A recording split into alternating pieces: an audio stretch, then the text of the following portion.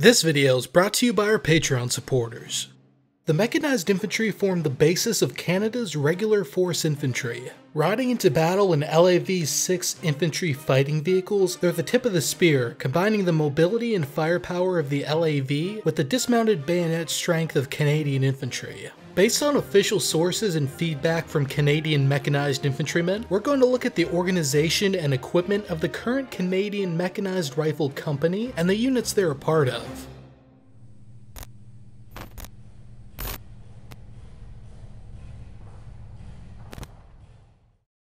The Mechanized Rifle Company is the maneuver element of the Canadian Mechanized Infantry Battalion. Such battalions are split between the Royal Canadian Regiment the Princess Patricia's Canadian Light Infantry, and the Royal 22nd Regiment.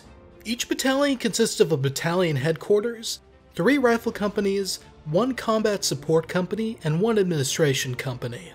The Combat Support Company enhances the combat capability of the rifle companies, including reconnaissance, signals, a mortar platoon with 8 81mm mortars, snipers, assault pioneers, and dismounted TOW anti-tank guided missiles. The administration company, on the other hand, is focused on sustainment, including supply, transport, maintenance, and medical services. This battalion is in turn one type of maneuver element within a mechanized brigade group. Canada's geographically based 2nd, 3rd, and 4th divisions each have an active mechanized brigade group in addition to reserve brigade groups based around light infantry.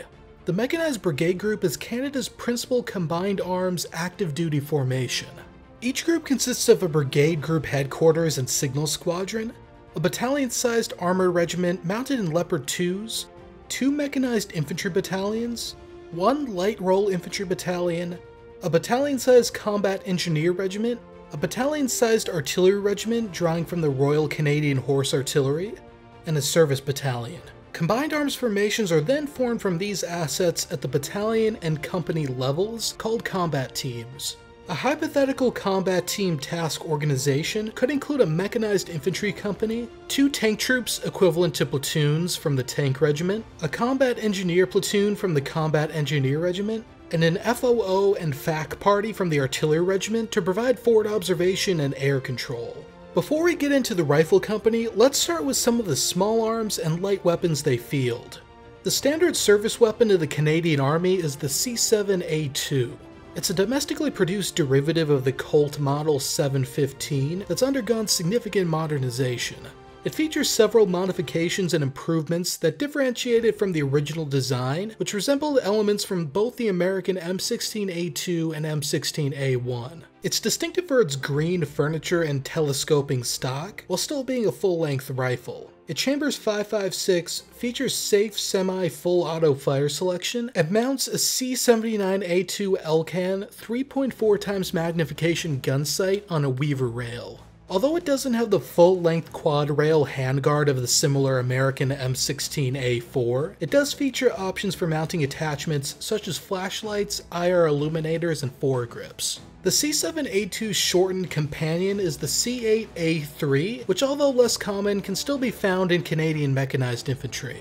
It usually goes to leadership positions first, as they have first dibs, and after that, it more or less comes down to the availability and the preferences of the unit's senior NCOs. Positions within a platoon that could get the C8A3 include signalers, grenadiers, or members of a special weapons detachment. Both the C7A2 and C8A3 can accept an M203A1 underbarrel grenade launcher with a SOPMOD profile 9-inch barrel.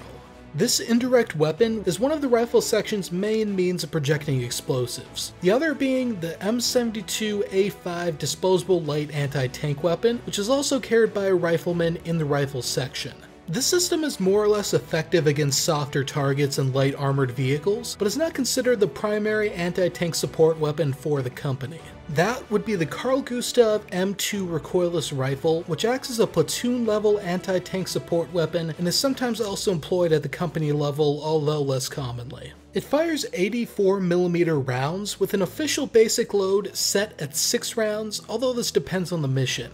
It's typically crewed by two individuals. In terms of explosive chuckers, a C-16 close area suppression system, a 40mm automatic grenade launcher similar in capability to the Mark 19, is usually held at the company level and only used in the defense. And now for the machine guns, the C9A2 is Canada's standard section level light machine gun. It's a domestically produced derivative of the FN Minimi, similar to the American M249 and Chambers 556. Like other weapons in the section, they mount the C79A2 gun sight. Meanwhile, the heavier C6 General Purpose Machine Gun acts as a platoon support weapon. It's a belt-fed machine gun derived from the FN MAG, chambering 7.62 NATO. Most C6s are older, featuring wood stocks and no rail mount for optics. However, the new C6A1 Flex being phased in has rails on the top covers for optics, other attachment points, and a polymer stock. And lastly, the standard service pistol of the Canadian Army is the Browning High Power. Like with the carbine, it could be generally said that who gets a pistol comes down to both availability and the preferences of leadership. However, they're generally less useful and not as coveted as a C8. Now on to the company organization. Each rifle company consists of a company HQ and three rifle platoons. The company comes under the overall command of a major. They're assisted by the company's second in command or 2IC, who's usually a senior captain and in charge of the company HQ's rear echelon and attached support. They're further assisted by the LAV captain. When the company commander dismounts, the LAV captain remains mounted and can command the empty Zulu vehicles in conjunction with the platoon LAV sergeants.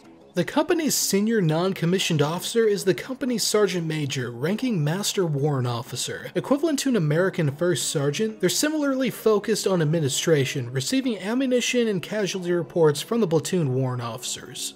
The company HQ is supported by a signals element consisting of a signals NCO and a company signaler or radio operator, typically both ranking Master Corporal. The latter also has the task of supervising the platoon signalers. The company also has a stores and transport section. This element is led by the company quartermaster, who's a warrant officer on the way to becoming a master warrant officer, and it further consists of a 2IC ranking master corporal, a transport sergeant, a transport driver, and two storemen. There are several vehicle crew in the HQ, but how many actually depends on the exact number of vehicles the company runs. Mechanized infantrymen from the 1st and 2nd Patricias told Battle Order that their company HQs had either 3 or 4 LAVs and 4 Mack Defense MSVS SMP 8x8 trucks, one of which tows a water trailer. The LAV-6 is the most modern infantry fighting vehicle in Canada's lineup, essentially an updated LAV-3 that features among other things a double V hull and blast protected seats to protect against mines and IEDs. It's similar in capability to the US Marine LAV-25 or US Army Stryker Dragoon, featuring a manned turret armed with an M242 Bushmaster 25mm autocannon, coaxial C6 general purpose machine gun, and pintle-mounted C6 GPMG or C9 light machine gun. Each LAV has a driver and a gunner, with the company commander's LAV also having a backup crew commander to take over when the company commander dismounts. Typically, the company commander, LAV captain, and company 2IC all command their own LAV. In the 3 LAV variant, the company sergeant major rides in the company commander's LAV. However, in the 4 LAV variant, the company sergeant major commands their own LAV. In addition to the organic elements, the company HQ also usually receives attachments from within the battalion. These typically include an LAV-2 Bison ambulance staffed by three medics. One would typically rank Master Corporal, another Corporal, and one between Private and Corporal. The lower ranked of the three would also act as the driver. Additionally, a mobile recovery vehicle variant of the Bison can be attached from the battalion maintenance platoon. This usually would be staffed by a weapons technician, a vehicle technician, an electronic and optronic technician. Sometimes a second mobile repair team Bison can also be attached. Now to the rifle platoons, the rifle company's close combat elements. Each platoon consists of a small platoon headquarters, a weapons detachment, and three rifle sections. The platoon comes under the overall command of a lieutenant usually, but sometimes a captain. The commander is assisted by a platoon second in command, sometimes called a platoon warrant, ranking warrant officer and handling the platoon's administrative matters and discipline. They would usually ride with one of the rifle sections separate from the platoon commander, often in the depth section held in the rear. Paralleling the LAV captain at the company level is the LAV sergeant who acts as the leader of the LAVs when the platoon leadership dismounts. They're also usually the crew commander for the platoon HQ's LAV. Typically they sit in the vehicle commander's seat, while the platoon commander sits in the rear passenger compartment. However, depending on personal preference, the platoon commander can also sometimes command the vehicle.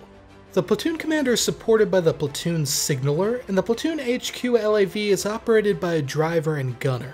The driver and gunner may rank anywhere from private to corporal, the latter being equivalent to the stature of a US Army Specialist or US Marine Lance Corporal. The gunner is meant to be senior, with the theory being they can take over for the crew commander if they're disabled. Meanwhile, the rifle sections are the platoon's maneuver force. Each section consists of 10 personnel, with 3 vehicle crews and 7 dismounts per section. The section comes under the overall command of the section commander, usually ranking sergeant, who also leads the dismount element specifically. They're usually armed with a C7A2 rifle, although in some circumstances they could also be armed with a C8A3 carbine in lieu. On the ground, they're assisted by the section third in command, who's essentially a dismounted 2IC. Generally, this position is filled by the senior-most corporal in the section. In one respondent's unit the 1st Patricias, they actually had the section's second in command to fill this position, who would rank a Master Corporal. However, based on feedback from other units, this is probably just company SOP. The dismount element also has two machine gunners armed with C9A2 light machine guns. These machine gunners would usually be corporals, as the logic goes more experienced soldiers should man the more important weapon systems. However, in most cases, when we list a corporal or private billet, they can actually be manned by either. There are also two grenadiers armed with C7A2 rifles and M203 grenade launchers, as well as one rifleman armed with a C7A2 rifle and M72 light anti-tank weapon. Additional M72s are held in each vehicle. The mounted element, meanwhile, would consist of a crew commander, also acting as the Section 2IC and ranking Master Corporal. This position is also responsible for administrative aspects of the section, taking the load off the section commander and preparing reports for the platoon second in command. In the case of the first Patricia's respondent from just a moment ago, they made the crew commander the 3IC rather than the 2IC, so that they could focus just on the LAV while the dismounted 2IC handled the official 2IC tasks. Each section is then rounded out by a driver and gunner for the LAV. On the ground, the dismount element of each section usually breaks into fire teams. The exact composition of the fire teams varies unit to unit, especially if they're under strength, but it can be broadly broken into the following. The Alpha team contains the section commander. Bravo team contains a C9A2 light machine gun and either a rifleman or grenadier depending on the unit. At least one would be a corporal. Charlie contains either two grenadiers or a grenadier and a rifleman depending on the composition of the Bravo team. Charlie would be the least experienced of the teams and usually be used as an assaulting element in the terminal phase of an attack. Delta Team would then consist of the Section 3IC and another C9A2 light machine gunner. The logic here is that the Alpha and Delta teams are at the opposite ends of a line formation, which may benefit control, but also has the side benefit of spreading out the dismounted leadership, so one grenade doesn't kill the section commander and 3IC in one go. There's no standard seating plan, but generally speaking, the C9 light machine gunners would be dismounting first, meaning they'd be sitting in the rear of the vehicle near the hatches. This would allow them to provide cover for the rest of the section as they filed out by fire team. The section commander would usually also sit near the rear, so they could make use of the ceiling hatches in the passenger compartment. In two respondents' companies in the second Patricias, an eighth dismounted rifleman may have been used, which would then be added to the Alpha team with the section commander. However, as there are only 7 seats for dismounts and 8 men would require jamming in on one side, and manpower is often scarce to begin with, this is likely a unit-specific SOP.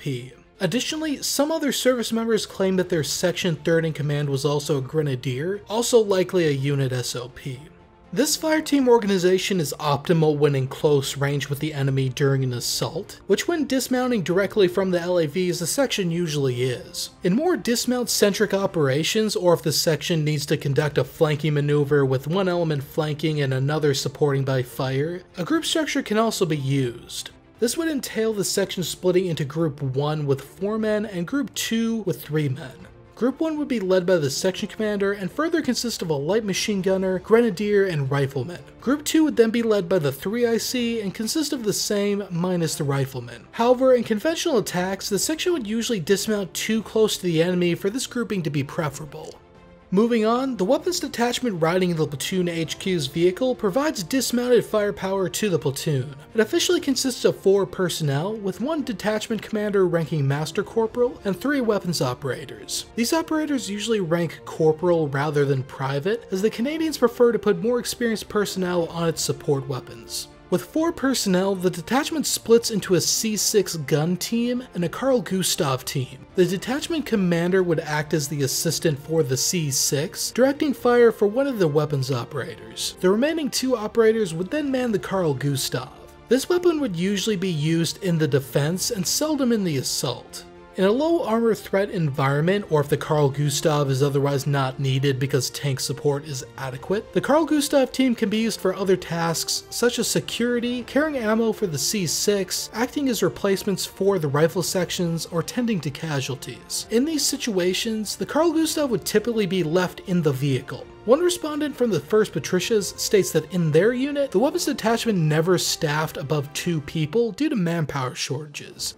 In their unit, the Carl Gustav was kept in the depth section's vehicle to be operated by that section as needed. In Canadian terminology, a depth section is essentially equivalent to a reserve squad, kept towards the rear of the platoon formation that can reinforce the forward sections, deal with enemy POWs or casualties, or push past the first echelon's assault into the enemy's depth. And now I want to give a quick shout out to our Patreon supporters, especially our producers. Last month, our patrons got the full image files for our new poster featuring the Canadian Mechanized Rifle section, which is also available at our shop linked in the description. If you want to help Battle Order grow and get a bunch of perks including shoutouts, wallpapers, e-booklets, early access to videos and scripts, and patron-only chat on our Discord, consider becoming a patron at the link in the description. Thanks for watching everyone, and I'll see you all in the next one.